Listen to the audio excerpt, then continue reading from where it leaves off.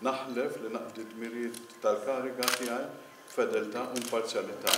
F'ċerimonja fil-Palazz tal-President, Anthony Mifsud ingħata l-ġurament tal-ħatra bħala Ombudsman mill-President ta' Malta.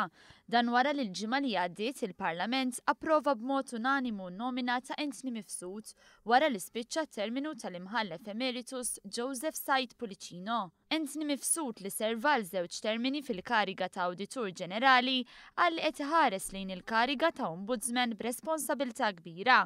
L-obġettivi huma imparzjalità assoluta u li twettaq ġustizzja ma' l-ċittadin.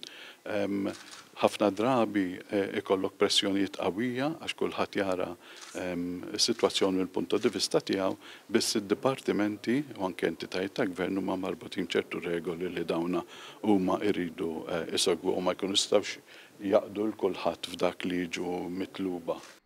Il-President Marie Louise Coleiro Preca iddeskriviet lil Anthony Mifsud bħala persuna onesta u qalet li tinsab ċerta li se jservi f'din il-kariga b'responsabilità kbira.